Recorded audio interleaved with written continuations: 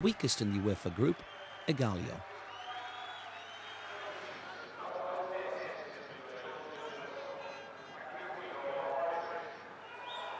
He's Ray Parlour. Parlour, great vision. Stewie Downing, far side. Downing's the shot. Stewie Downing scores!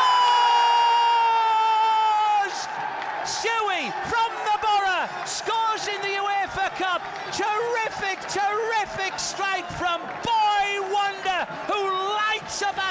It's Egaleo